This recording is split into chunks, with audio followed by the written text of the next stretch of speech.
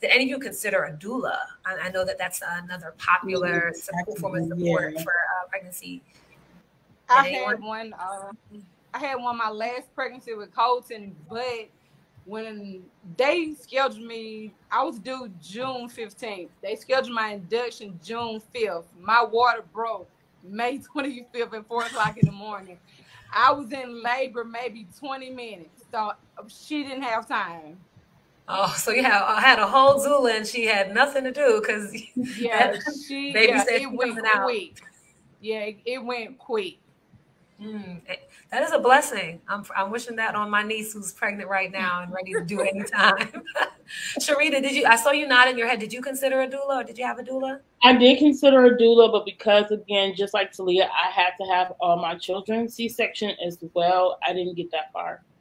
I would have mm-hmm. loved to have, have had one.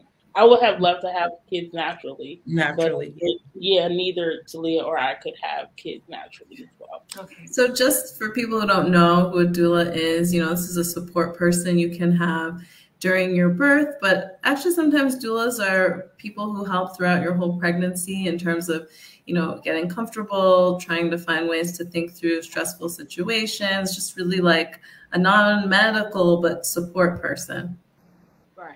And I would tell any woman that um, is pregnant to get one, especially women of color, because we have a higher risk of um, morality. No, excuse me. Uh, mortality. mortality. Mortality. I'm sorry, brain fog. Mortality right? when it comes down to um, having babies. So I encourage everyone, if you're pregnant, always get a doula because you want that advocacy mm-hmm. in the room for you because – um, besides my husband, it was just me and him in there, and I had um, to get a blood transfusion where I was out of it. I kind of passed out, so I didn't have anyone besides him in there, you know, advocating for me, speaking for me. So you want to always implement a doula if you're pregnant. I would say mm-hmm. that.